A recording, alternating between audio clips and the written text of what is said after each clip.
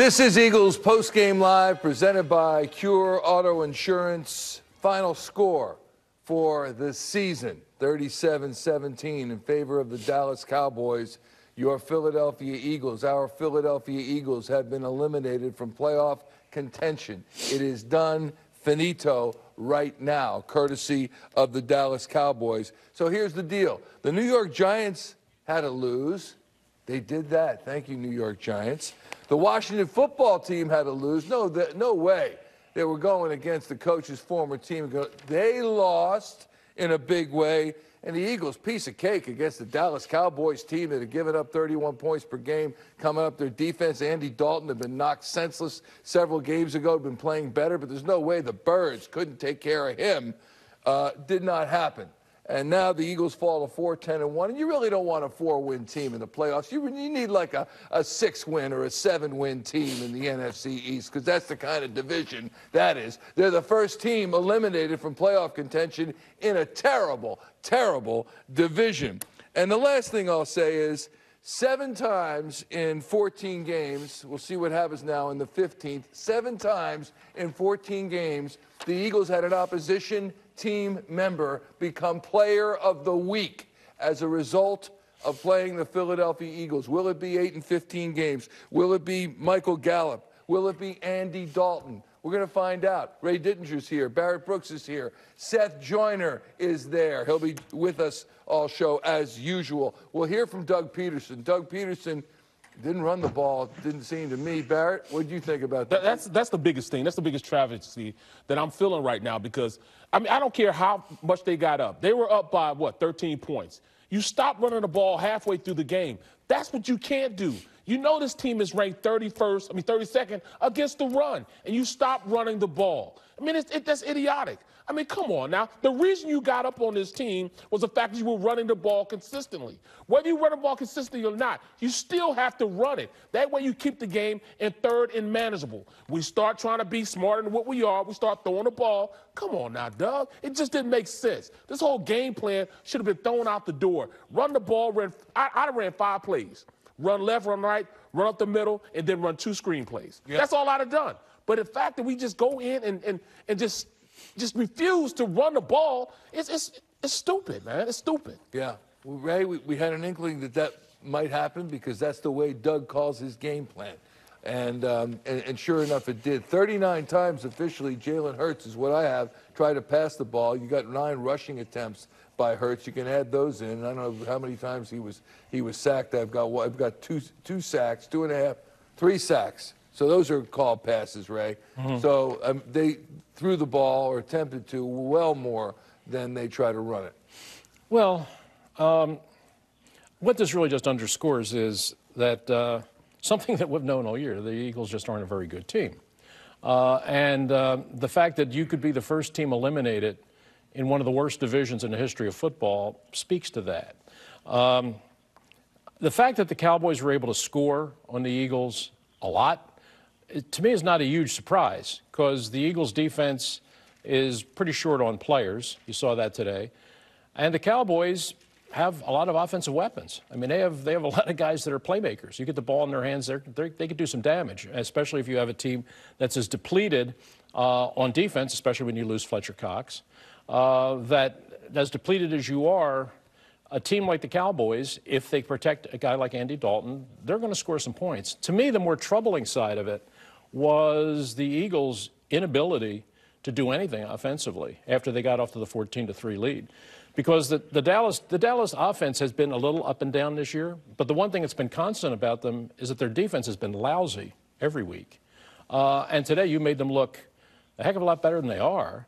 And, uh, you know, it's, it's very telling to me that the Eagles had six consecutive possessions six consecutive possessions where they got the ball into Dallas territory and they couldn't do anything with it. They couldn't score a single right there, a single point. Here you go. Here's this is six consecutive possessions in which they got the ball in Dallas territory against this awful defense and didn't score a single point. And I think it tells you a lot about who the Eagles are and how far they still have to improve to become a good team again. The the Darius Slay interception is really a chance for them to get back in the game. I mean, they, the, the Cowboys had taken the game away. The Cowboys seemed to be moving the ball. The Cowboys knew what they were doing. And then you have that play, and it's 30 to, it's 30 to 17. Um, it's, it's still the bottom of the third quarter. So there's still time. And Darius Slay makes a really nice play to, to intercept the ball. Eagles get the ball right there at the Dallas 28. Now, here's your chance to really re- regain the momentum, get some points, get back in the game. And what do they do? Holding penalty and a false start. And you know, next thing you know, it's fourth, it's fourth and 15, and then Doug makes the decision, I'm not going to try a field goal. I'm going to go for it on fourth and 15, or it's get stopped, and that's it. But I mean, that really kind of tells you here's the big moment. You get the takeaway you need. You're in great field position. You're right there ready to score points and get back in the game. And you get back to back penalties, a holding penalty on Pryor, false start on Ertz. Now all of a sudden, it's third and 18 and you're up against it. And then all the other possessions after that, you get the ball down into Dallas territory and you can't do a thing with it. So, in in every, in every respect, you look at this, and it just kind of takes you back to the one basic fundamental truth is that this is not a very good team. And, uh, and you saw that today. And there, maybe there's some, maybe there's a silver lining here that if the Eagles had somehow gotten into the playoffs and gotten a playoff game, you know, would there have been a sense that, you know, hey, we're not that far off. You know, we're really not that bad. We got in the playoffs. This is four years in a row, yada, yada, yada. You know, now maybe confronted with the fact that these other three tomato cans in this division are still playing with a chance to get in the playoffs. the Giants, Washington, and Dallas. They're, they're still playing for the playoffs. You're already out. Maybe, the, maybe this is the sobering reality that, you know what? We are that bad. Yeah. You know, and and we got to start we got to start doing things different and bringing in different people and changing our way of business or else guess what? We're going to be looking up at the rest of this division for the foreseeable future. Yeah, certainly that's what's happening this season. Seth Joyner, uh, by my unofficial calculation, I've got 51 pass attempts by the Eagles, including the sacks uh, by Hurts and including the Hurts runs, and I've got 20 runs. 51 pass, 20 runs, and we talked, especially uh, you and Barrett, about run, run, run. Certainly Doug will run. This run defense is terrible. The Cowboys, that's not what happened. But you know, Doug's got a new toy in Jalen Hurts. Pass, pass, pass, pass and it just it didn't work out. Your view on this, Seth? Hey, listen, he just he can't help himself. I said it in pregame that you know you expect for him to run the football. He's just not going to live by that because that's not his DNA. That's not what he wants to do from an offensive perspective. Um, you know, they started off great with the first two two possessions, and then from that point they just went helter skelter. They could get nothing going, and then the, and then the defense falls apart. You know, I, I to, to be honest with you, you know, the first half of this game is more about you know Doug's inefficiency to try to figure out you know what to do from an offensive perspective. It, you know, I'm still perplexed because every single play, it seems like we're up against the clock. You, you know what that tells me? That tells me that there's no offensive coordination in your play calling and you're calling random plays and the clock is running down because of indecisiveness you haven't called you haven't in your mind figured out how you want to coordinate your plays and what you should call next so that your quarterback can call a play get to the line of scrimmage you know read the defense make a check and then play the play um, that's the first part. The second part is okay. This is the third time this year that the Eagles' defense has given up over 500 yards. And listen, you know, they are so decimated. They got you got when you lose Fletcher Cox, you lose a big piece of your defense, but you're basically out there playing with what three guys that are basically starters. You know, the rest of the guys are practice squad guys and backups, and those you're a practice squad or backup player for a reason. You know, Jim Schwartz waited until the third quarter to pull Michael Jacquet out of the game and put Jalen Mills over there. The game was already over. Okay, that move should have been made at halftime you make that move then. But it always seems like the Eagles are so far behind in their decision making process of what to do and how to do it and how to adjust because they can't make adjustments on the fly. They can't make adjustments on the move. And listen, I agree with Ray wholeheartedly. Okay. This is what needed to happen to this team. Because if they do get in the playoffs, like Ray said, and they have this false sense that you know what, hey, we're maybe not that bad. Yes, you are. You're you're listen, they were always are, are, they, they they were already deficient you know, as a football team when they were at full strength because there was no continuity and no rhythm to the offense, and your quarterback was a turnover machine. Okay. Now you're looking at a team that's depleted and playing a lot of backups and practice squad players. Now you're seeing that you're not really that good of a football team.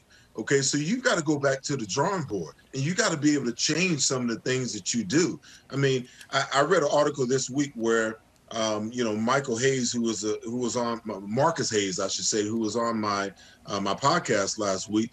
He said that you know the Eagles shouldn't do anything; they should stand pat, keep Howie, keep keep Doug, and keep Jim Schwartz.